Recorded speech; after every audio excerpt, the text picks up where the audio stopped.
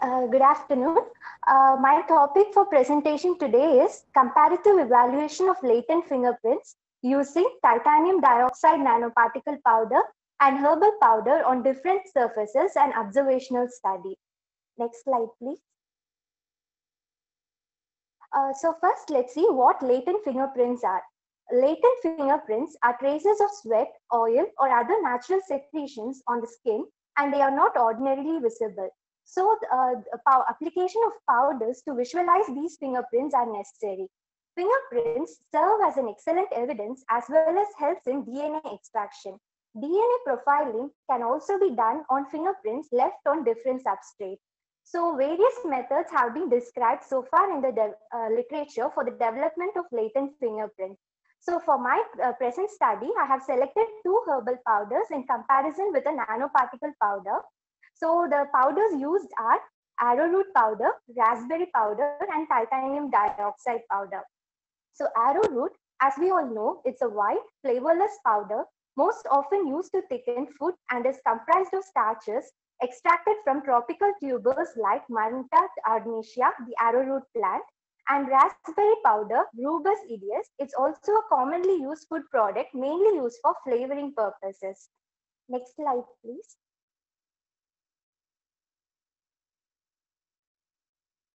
So coming to the object of my study, uh, the main uh, aim of my study is that uh, we have to implement simple, simple non-toxic powders for the development of latent fingerprints that can be employed on different substrates for latent fingerprint identification. So in this study, I have used three powders, namely Maranta arundinacea, Rubus idaeus, and titanium dioxide nanoparticle powder. And I have evaluated the efficiency of these powders on six different surfaces. Next slide, please.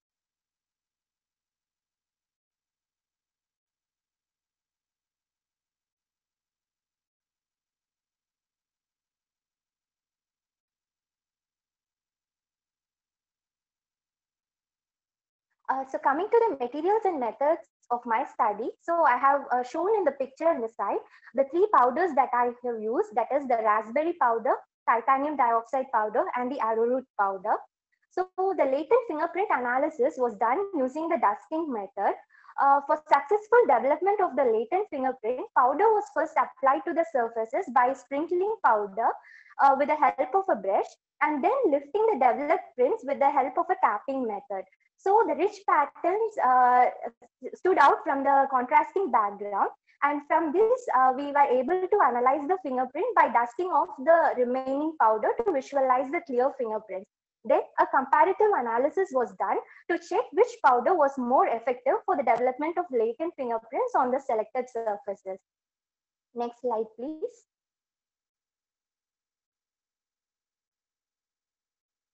So coming to the results of my study, uh, you can see the results of my study on the site. I have given the pictures.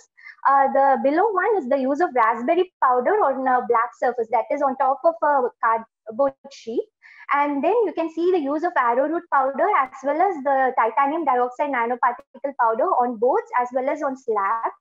And from my study, I have found that titanium dioxide nanoparticle powder as well as rubus idaeus, that is the raspberry powder, showed better results while visualizing the latent fingerprints compared to the arrowroot powder.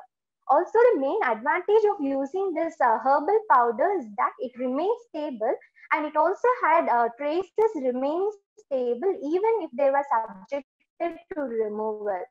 So the main advantage is that uh, this analysis with the help of herbal powders can be used in scenarios where multiple latent fingerprints are required. Uh, for conclusion, uh, the, uh, from the results of my study, I can say that easily commonly accessible and less expensive reagents like the household kitchen powders like raspberry powder, arrowroot powder can act as a beneficial substitute for decrypting the latent fingerprints and can also help in DNA extraction.